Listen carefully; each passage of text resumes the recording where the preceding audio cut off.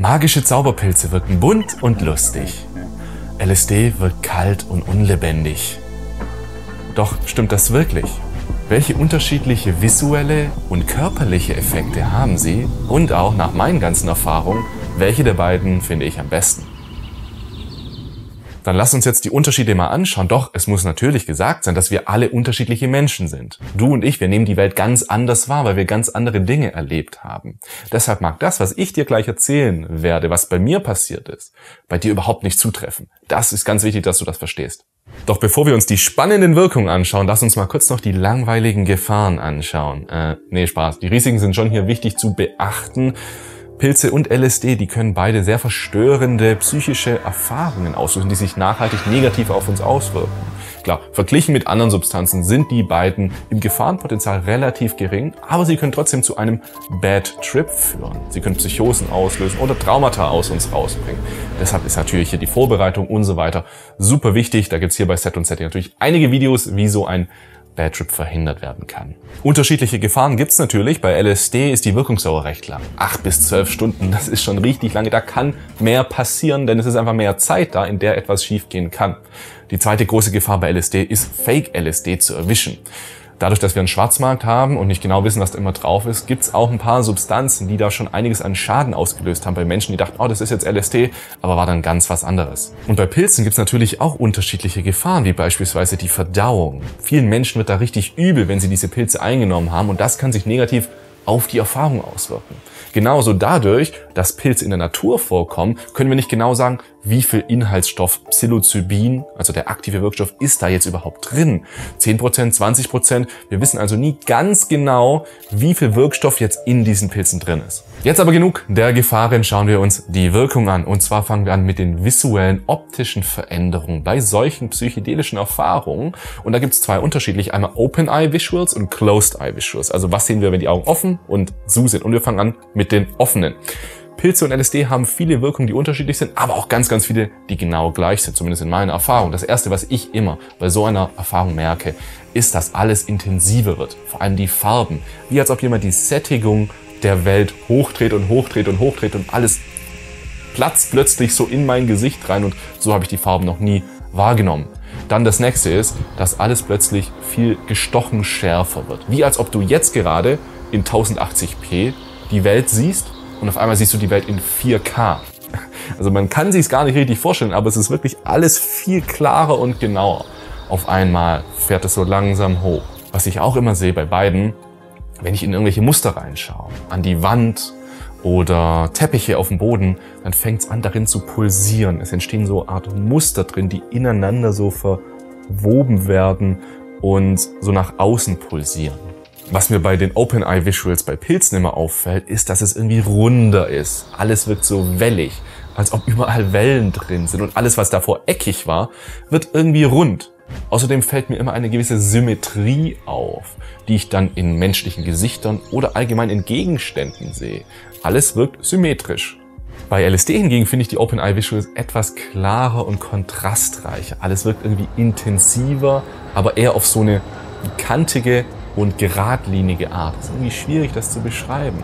Aber ich finde auch, dass alles etwas beginnt zu atmen. Also egal, wo ich hinschaue, alles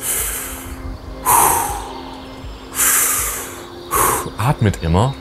Ich sehe auch oft in Dingen so eine Art Kunst. Also alles wirkt irgendwie gemäldeartig, so als ob es gezeichnet wurde. Dann gibt's noch den Effekt von Drifting, der das Ganze nochmal unterstreicht. Es ist so ein konstantes Atmen, das durch die Welt fließt irgendwie. In ganz viele verschiedene Gegenstände geht es rein. Auch kommt es zu sogenannten Tracern. Das passiert, wenn wir die Hand nehmen. Normalerweise sehen wir unsere Hand da ja recht gut, aber bei LSD zieht alles irgendwie Schlieren. Zieht zu Schlieren. Oder wir sehen Dinge in Dingen, die gar nicht da sind. Das passiert bei LSD vor allem, aber auch bei Pilzen kommt es vor. Was passiert jetzt aber, wenn wir die Augen schließen? Da gibt's auch Unterschiede bei LSD und Pilzen. Ich versuche sie dir mal aus meiner Erfahrung so ein bisschen näher zu bringen. Ich finde, bei LSD fange ich plötzlich an, mir Dinge vorzustellen. Das Universum, das Weltall, irgendwelche Raumschiffe, alles wirkt technisch, alles verfließt dann auch irgendwie ineinander, alles wird kaleidoskopartig und es entstehen Formen und Farben, die nur so dahin schweben und sich wieder ineinander verschmelzen.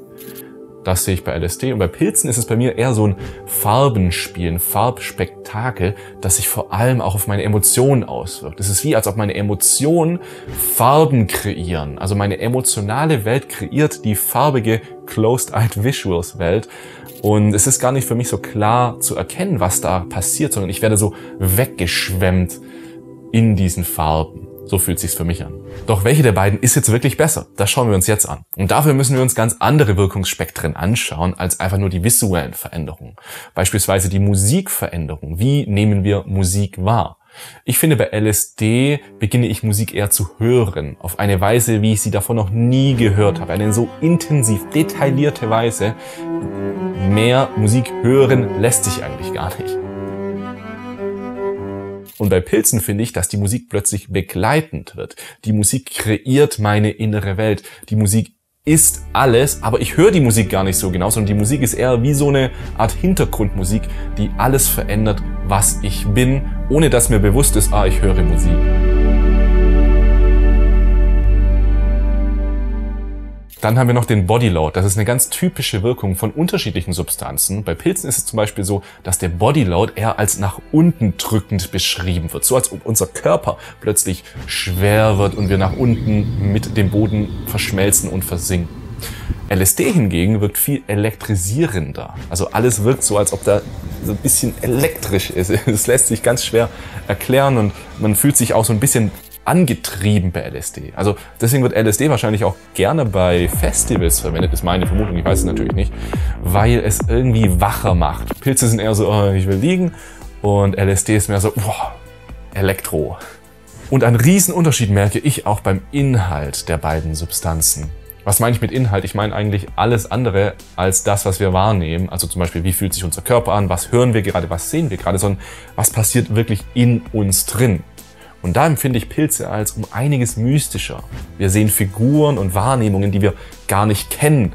Figuren aus der Antike oder sonstige Persönlichkeiten, die irgendwie nichts mit unserer Persönlichkeit zu tun haben. Bei LSD hingegen wirkt alles etwas biografischer. Irgendwie ist klarer ersichtlich, dass das, was ich erlebe, mit mir zu tun hat. Das ist natürlich auch dosierungsabhängig, aber die beiden Tendenzen nehme ich da trotzdem immer wieder wahr. Und jetzt lass uns doch nochmal das aufgreifen, was ich im Intro gesagt habe, nämlich dass Pilze bunt und lustig sind. Ja, bunt sind sie auf jeden Fall. Bei einer entsprechenden Dosierung wird alles intensiver und sättigender im Farbspektrum. Aber dass sie lustiger sind, da wäre ich vorsichtig mit dieser Aussage. Ja, Menschen machen oft lustige Erfahrungen, bei denen sie dann Lachflashs haben, bei denen sie Trüffel in Amsterdam nehmen oder Pilze in Amsterdam und irgendwie war alles ganz lustig können auch oft so Abwehrmechanismen sein, weil man nicht nach tiefer reinschauen möchte, aber das ist ein anderes Thema. Aber generell sind aus meiner Erfahrung Pilze nicht lustiger als LSD, sondern es kommt immer auf das Set und Setting an. Also das, was wir gerade in uns haben und das, was wir außerhalb von uns haben. Und dann kann es wirklich zu einer lustigen Erfahrung führen. Aber das ist auch dann auch gefährlich, dass wir denken, ach, Pilze sind ja lustig und dann nehmen wir Pilze und auf einmal kriegen wir eine voll krass intensive Erfahrung und werden mit dem Universum konfrontiert, sind gar nicht bereit dazu.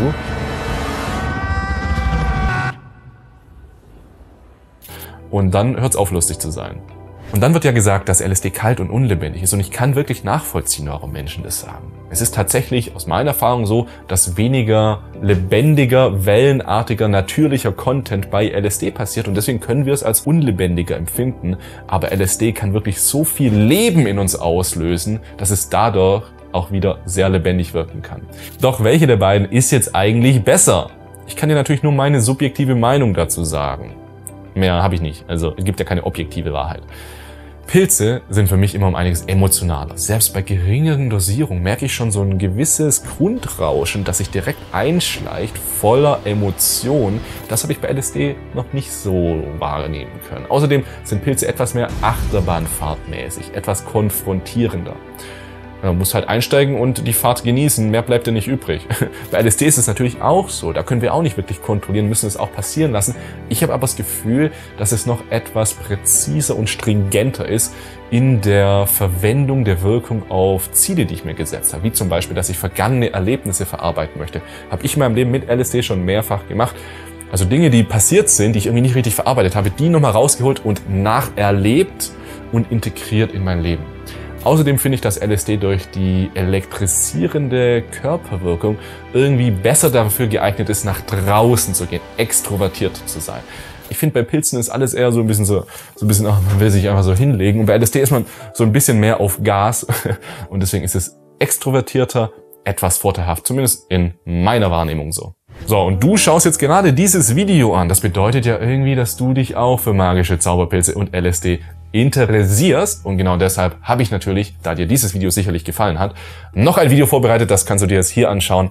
Da geht's dann weiter mit Infos rund um alle möglichen psychedelischen Substanzen und Erfahrungen. Ich wünsche dir viel Spaß und ich danke dir fürs Zuschauen. Und wir sehen uns wieder beim nächsten Video. Dein Jascha von Set und Setting und tschüss.